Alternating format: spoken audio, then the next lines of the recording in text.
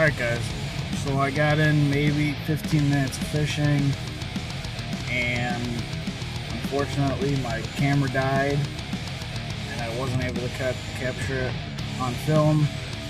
Um, but I caught one catfish for today. Uh, it was a good maybe 20 inches. Nice little channel. So, and about, like I said, about the 15 minutes of fishing I got in today before we get, got this rain. Uh, it's not as heavy as it was, but I got stuff to do, so I'm not going to sit around. Well, we got that one fish for today. Sorry I couldn't get it on camera, but thanks for watching. Remember to comment, rate, and subscribe. Thank you.